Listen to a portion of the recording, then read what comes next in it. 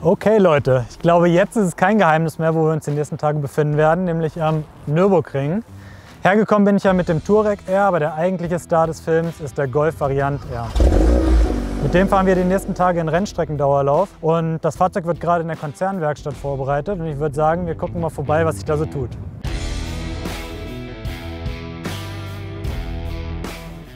Ja, Marius. Hi Jonas. Hi. Wie sieht's aus? Was machen wir gerade? Ja, die kommt eigentlich ganz, ganz passend gerade. Wir sind gerade dabei, so ein paar Verschleißteile zu wechseln. Ähm, Das Fahrzeug ist jetzt ein paar Runden gefahren. Äh, Bremse vorne, äh, hinten haben wir gemacht, also Scheiben und Belege einmal frisch drauf, nochmal neue Reifen, äh, damit wir gleich wieder ordentlich durchstarten können auf der Strecke. Wir in der Gesamtfahrzeugentwicklung fahren auch die Dauerläufe mit unseren Fahrzeugen. Und genau deswegen sind wir nämlich heute hier. Wir fahren mit dem neuen Golf Variant R einen Rennstreckendauerlauf am Nürburgring. Ich glaube, als erstes fällt einem der Käfig ins Auge. Der ist vor allem für die Sicherheit der Fahrer, genauso wie der Rennschalensitz mit dem Sechspunktgurt. Hier auf der Rennstrecke kann immer was passieren, gerade auf der Nordschleife, wenn man wechselnde Wetterbedingungen hat. Und da muss für die Sicherheit der Fahrer gesorgt sein.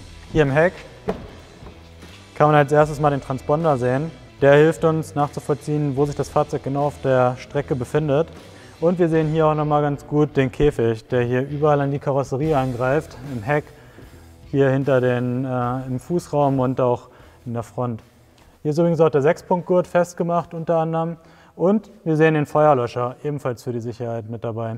Wie genau läuft sein Dauerlauf ab?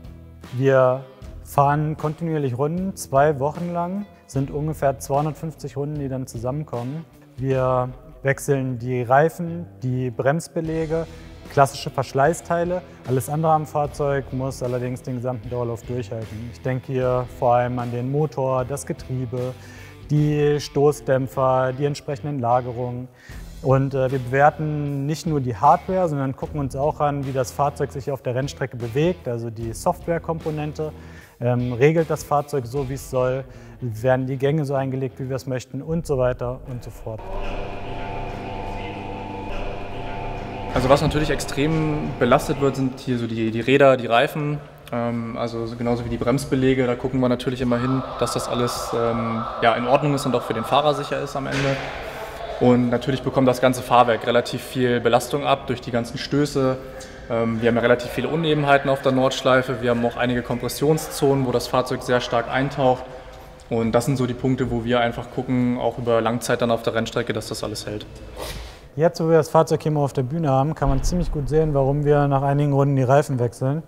Hier an der Flanke zum Beispiel hat der Reifen schon ordentlich Temperatur bekommen, sieht man so ein bisschen an der Verfärbung.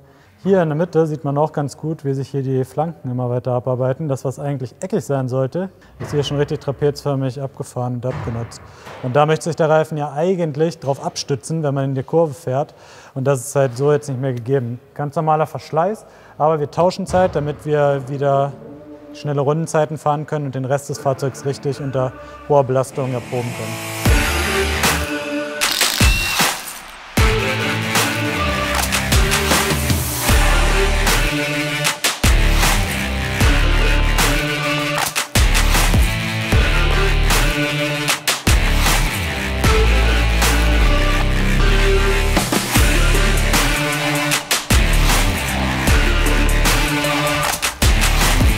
So, Rennmontur ist angezogen jetzt gehen wir mal auf die Rennstrecke und schauen, wie sich der Golf R Variante schlägt.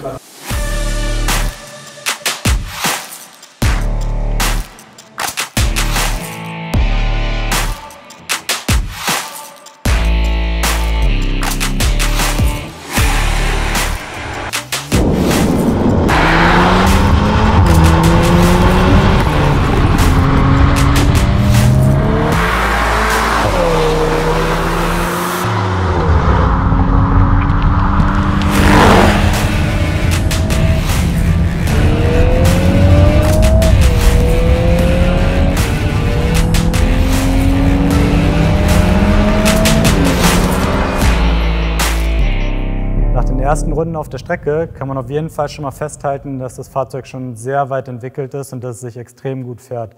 Die Abstimmung ist schon richtig weit und ja, man merkt einfach die gute Basis von der Golfer Limousine, die sich ja auch hier weiter fortsetzt. Das ist äh, ein Fahrzeug, was absolut Spaß macht auf der Nordschleife.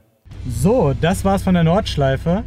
Ähm, wir hoffen, es hat euch gefallen. Dann lasst gerne mal einen Daumen nach oben da. Wenn euch diese Art von Video gefallen hat, bisschen technischer, behind the scenes, dann äh, schreibt uns gerne in die Kommentare, ähm, welche Themen euch interessieren würden. Und lasst ein Abo da, damit ihr auf keinen Fall verpasst, wenn ein neues Video von uns kommt.